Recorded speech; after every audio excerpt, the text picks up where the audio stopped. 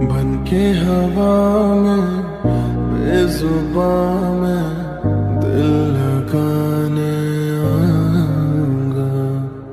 रातों को तेरा चाँद बनकर तुमको देखने आऊँगा। खोकर में तुझको आवारा हो गया। दिल जो था